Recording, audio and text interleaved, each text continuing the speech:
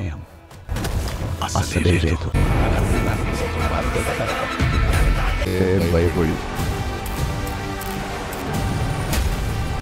Hello friends आपका इस नए वीडियो पर स्वागत है। इस वीडियो में हम बात करने वाले हैं तेलुगु की टॉप ट्रेंडिंग मूवीज़ के बारे में। चलिए शुरू करते हैं।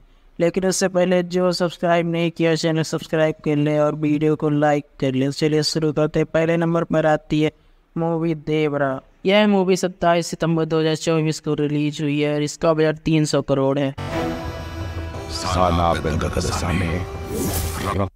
और इस मूवी ने अब तक 300 करोड़ से ऊपर की कमाई कर ली है और अगर इसके स्टार्स की बात की जाए तो इसमें junior N T R Saif Ali Khan Janhvi Srikanth Prakash जैसे एक्टर दिखाई दे रहे हैं और Devara movie world wide blockbuster साबित हुई है।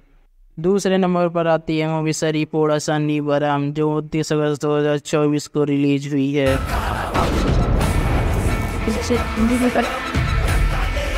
इसका बजट 90 करोड़ था इसने अब तक 100 करोड़ की कमाई कर ली है। वहीं इसके स्टार्स की बात की जाए तो इसमें नानी एस जे सूर्या प्रियंका मोहन दिख रही हैं और यह मूवी वर्ल्ड वाइड हिट साबित हुई है।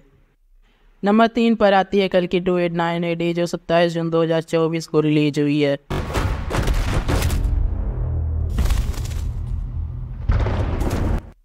कल की मूवी का बजट 600 करोड़ था, इसने अब तक 1200 करोड़ की कमाई कर ली है। इसके एक्ट्रेस की बात की जाए तो इसमें प्रभास अमिताभ बच्चन, कमल हसन, दीपिका पादुकोण और दिशा पटानी दिख रही हैं और यह मूवी वर्ल्ड वाइड ब्लॉकबस्टर साबित हुई है।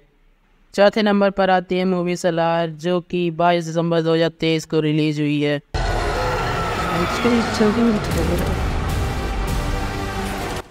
सलार मूवी का बजट 270 करोड़ था, इसने वर्ल्ड वाइड 700 करोड़ की कमाई की है।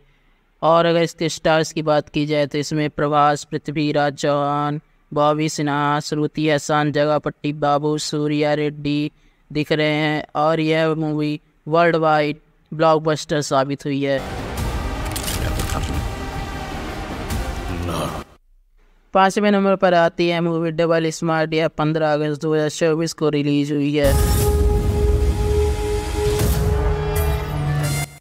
इस मूवी का बजट 90 करोड़ था इसने वर्ल्ड वाइड 18 करोड़ की कमाई की। अगर इसके स्टार्स की बात की जाए तो इसमें राम पोथिनेनी संजय दत्त अली और काव्य थापर हैं और यह मूवी वर्ल्ड वाइड डिजास्टर साबित हुई है।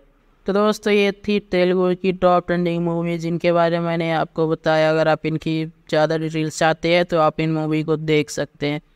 और दोस्तों लास्ट में मैं यही कहना चाहूँगा, जो चैनल सब्सक्राइब नहीं किया सब्सक्राइब कर लें और वीडियो को लाइक कर लें।